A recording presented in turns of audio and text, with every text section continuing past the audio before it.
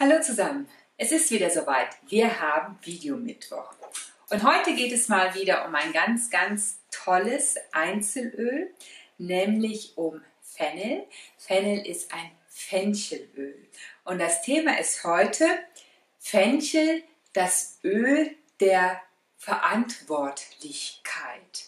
Ja, Fenchel ist ein, ja, in meiner Welt ein ganz, ganz wunder, wunderbarer Duft. Also ich liebe Fenchel. Ich mochte schon als Kind wesentlich lieber Fencheltee als Pfefferminztee.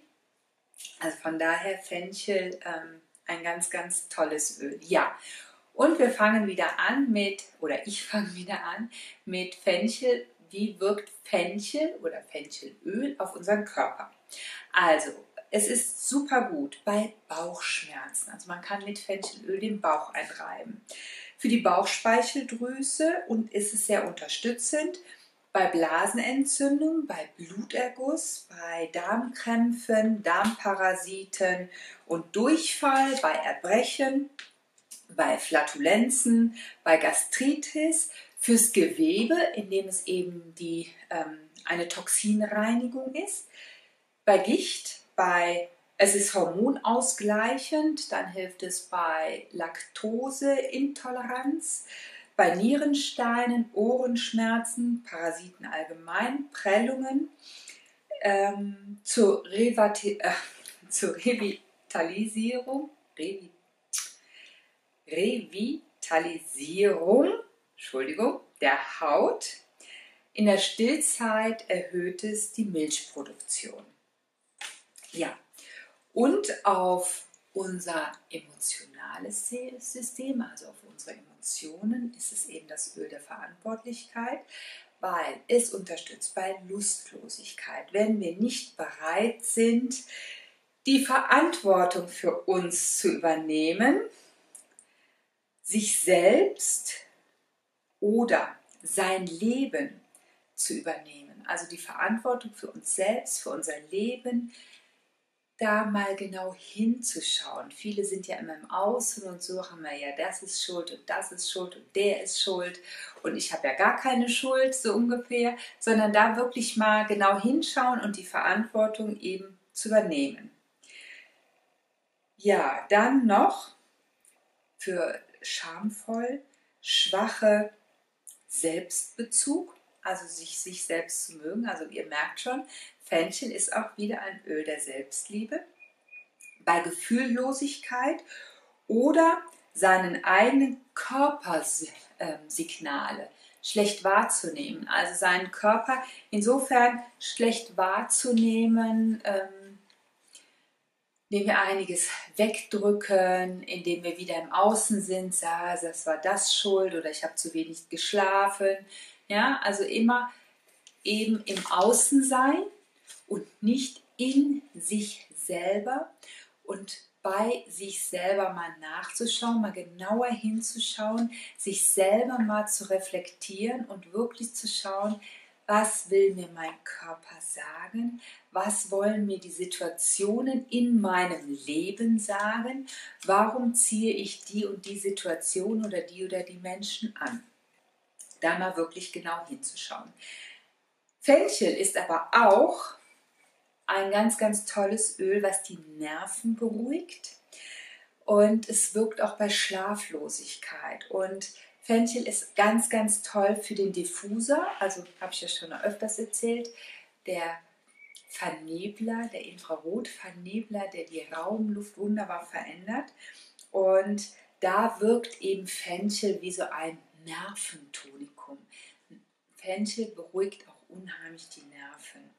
Und der angenehme Duft eben des Fenchelöls, der, ja, der verbreitet eine Aura und die, ähm, ja, sorgt für Geborgenheit und eben zur Nervenberuhigung. Und gleich gibt es noch eine sehr, sehr schöne Affirmation zum Fenchelöl.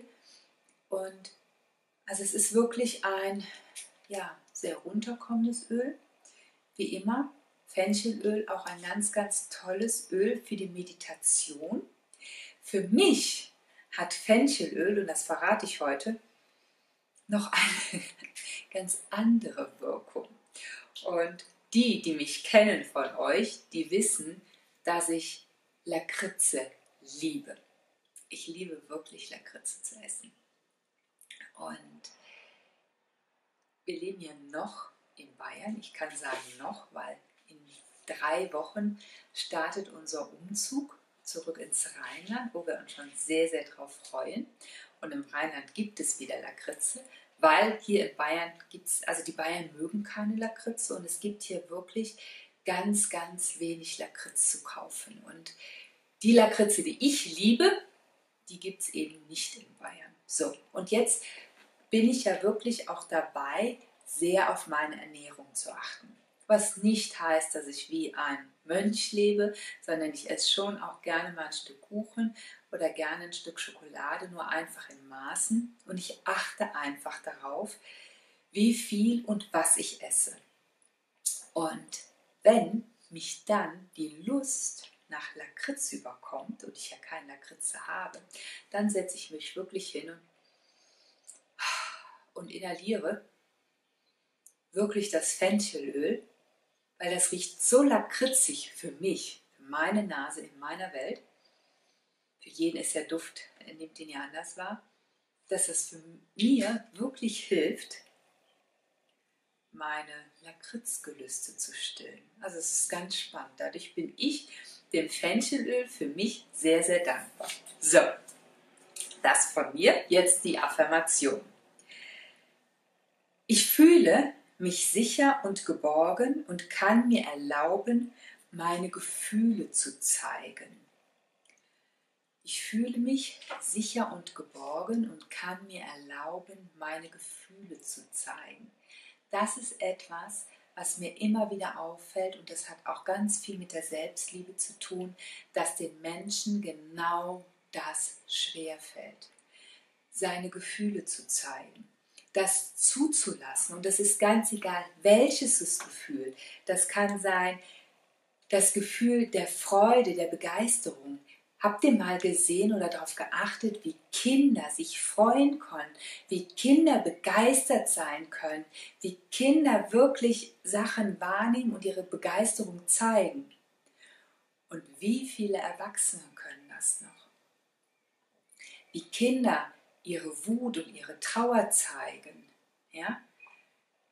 Und das heißt jetzt nicht, dass Erwachsene wütend durch die Gegend laufen sollen, sondern aber die Wut wirklich, habe ich auch schon Videos darüber ge ge gedreht, die Wut wirklich zuzulassen, zu sagen, ja, Wut, du gehörst zu mir, du bist ein Teil von mir und du darfst sein und damit das anzunehmen für sich.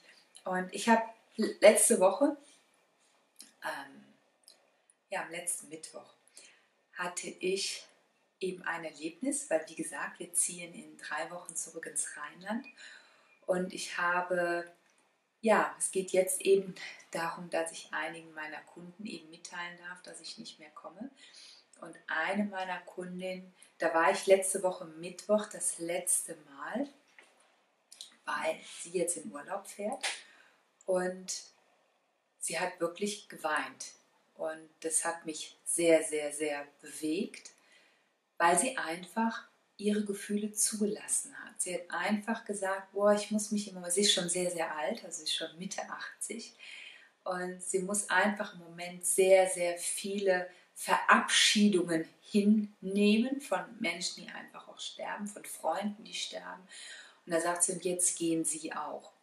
Und das meine ich wirklich mit Gefühl mal zuzulassen. Das heißt nicht, Gefühle zuzulassen, dass wir anfangen zu jammern oder anfangen in die Opferrolle oder in die Trauer reinzugehen, so ich armes Haschilein, es geht nicht. Den meine ich nicht, sondern ich meine wirklich für sich, das einfach mal zuzulassen, die Trauer zuzulassen, die Trauer anzunehmen, zu sagen, ja, du bist ein Teil von mir, es ist okay, ich darf jetzt auch mal traurig sein und dann zu sagen, okay, das ist die Trauer und was ist schön in meinem Leben?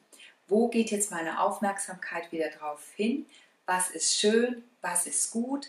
Und ich habe auch zu der Kundin dann gesagt, es wird ein ganz, ganz, ganz toller, neuer Mensch in ihr Leben kommen, anstelle von mir. Und sie werden genauso glücklich sein und es ist alles gut. Und ja, ab einem gewissen Alter müssen wir einfach auch Verabschiedungen mehr erleben, in Kauf nehmen als vielleicht als junger Mensch. Genau.